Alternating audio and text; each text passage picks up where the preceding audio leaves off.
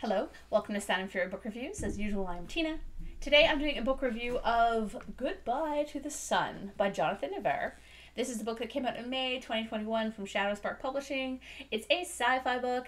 I received this book from the author in exchange for a fair review. As you might know, uh, Jonathan Nevair is the author of Stellar Instinct, which I love. So when he offered me his trilogy here, I was like, yes, for sure. so this book is far different from his spy fi book, as it is a terse political sci fi. What is it about? I guess I didn't need to set it down. Uh, okay. Tucked away in the blue sands of Col 2, the moats are on the brink of cultural collapse. Razor, a bold and daring pilot, leads a last ditch gambit against their local oppressors, the Targetians. The plan abduct visiting ambassador Keen Drayden and use him as a bargaining chip to restore her people's independence in the Sagittarius arm. But when the operation unravels, Razor is forced to renegotiate terms with the arrogant diplomat. Battling furious wind tides and pursuit by an infamous bounty hunter, Razor and Keen find mutual assistance in the dubious freelancer with a knack for exposing cracks in people's pride. Light years away on Heroon, a radical resistance blossoms. The alluring rainforest planet haunts Keen. All his problems stirred there during the Patent War, but it's where Razor's troubles may find a solution. The moral tide ebbs, exposing an impossible choice that links their futures together more tragically than ever thought possible a lot goes on in this book, and I'm gonna try and say what I enjoyed about it without going into spoilers, as a great deal of what I liked happened in like the second half. but I don't want to tell you all about that because obviously you should read it to get to those parts. So basically, though, we have two perspectives in the novel. We have Razor and Keen, and both dislike one another from the outset.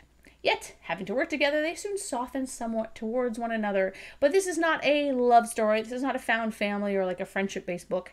It's more two people from disparate worlds coming together for a common cause, or perhaps taking what help they can get.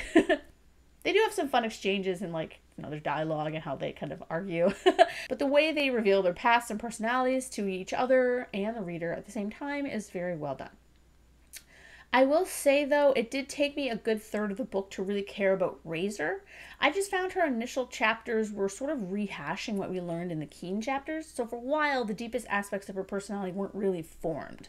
Like, you got that she was, you know, tough and had a chip on her shoulder and loved her sister and is pissed off, but we don't really learn the kind of intricacies of that situation until like later on. The setting is very cool. The initial planet is interesting as it's beset by these massive windstorms, and the other is a tropical rainforest sort of place with interesting creatures and plants. There's a stark difference between the two planets regarding climate, yet they're similar similar in political strife, and I thought that was a very interesting juxtaposition or kind of a kind of saying that yeah, you know what, these problems exist everywhere. Great things about the novel is the balance between action and overall political tension. We have a lot of fun action fights which occurred at intervals that made sense to keep the story exciting, but not too many that the plot felt thin, and a very complex but not complicated dialogue about monopolies, government, and colonialism. It's about inherited subjugation and cultural genocide, but also about what happens when you realize your people are just like are as persecuted as others in a completely different place. it has a sort of futility to it that makes Razor's efforts all the more laudable. The story is based on Antigone by Sophocles, but you don't need to know that story to read this. I barely remembered the main gist of that play, and I was fine. I read it back in like university and classical studies, so like, you know, mm, good 16 or 17 years ago. One thing that was a little odd to me was that people are constantly telling their pronouns to each other at the weirdest times. Like when you're getting shot at, is that a good time to be like, I go by she, her? I mean, I'm all about inclusivity, but I was like, maybe do that later.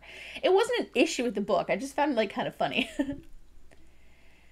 What wasn't funny was Nevair's writing, which is so elegantly crafted. His prose in Stellar Instinct is light and fun, but this is serious and also eloquent and deeply intelligent. If you like sci fi that has something to say, strike up a dialogue with Goodbye to the Sun. You will not regret it. I really enjoyed it. Thank you again to Jonathan for the review copy. I really appreciated that. I'll be reviewing the next one next month and then the last one in October. So look forward to that, I guess. in the meantime, you can you can pick this one up. So thank you again, and yeah.